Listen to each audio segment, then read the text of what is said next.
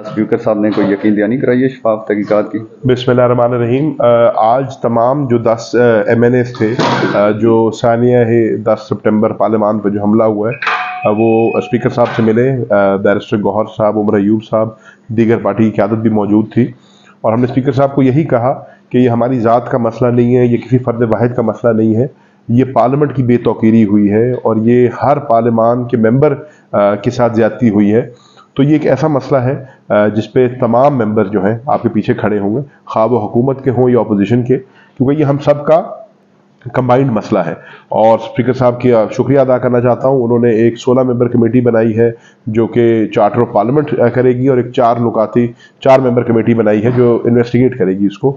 تو ہمیں بڑی امید ہے اسپیکر صاحب سے کہ اس پہ انویسٹیگیشن ہوگی اور ایک فیکٹ فائنڈنگ مشن ہوگا۔ اس کی رپورٹ میں نے اپنی تقریر میں بھی ان سے عرض کی کہ شائع ہونی چاہیے پبلک ہونی چاہیے، تاکہ مقصد کسی کی کسی کی تزلیل کرنا نہیں ہے، کسی کو نشانہ بنانا نہیں ہے۔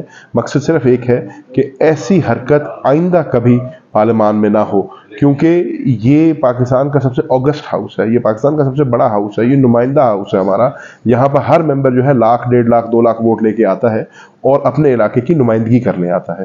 اس فلور کے اوپر جب ہم آتے ہیں تو ہم اس نیت کے ساتھ آتے ہیں اور اس اطمینان کے ساتھ آتے ہیں کہ یہاں پر حق کی بات ہوگی سچ کی بات ہوگی اور جو بھی ہمارے ویوز ہیں ان کو استثلہ حاصل ہوگا۔ اگر ایسے ہونے لگ جائے کہ پارلیمان کے اندر سے آ کے آپ ممبرس کو اٹھانے لگ جائیں تو نہ یہاں پہ حق کی بات ہوگی نہ سچ کی بات ہوگی اور نہ جس پرپس کے لیے ہمارے حلقوں کی عوام ہمیں منتخب کر کے ان عوانوں میں بھیجتی ہے وہ پورا ہوگا۔ کیا آپ کے اوپر کوئی گرفتاری کے دوران کوئی تشدد بھی ہوا ہے؟ کیا نہیں کوئی کسی قسم کا تشدد نہیں ہوا۔ بٹ آپ دیکھیں نا، یہ بھی ایک قسم کا تشدد ہی ہے کہ جس طریقے سے رات کو تین بجے پارلیمان میں گھس کے بجلی بند کر کے ممبرز آف پارلیمنٹ کو گربانوں سے پکڑ کے گھسیٹا جائے، تو یہ بھی ایک قسم کا تشدد ہے۔ اور جو فزیکل ہوتا ہے نا، کوئی دھکا لگ گیا، کوئی ہو گیا، وہ انسان بھول جاتا ہے۔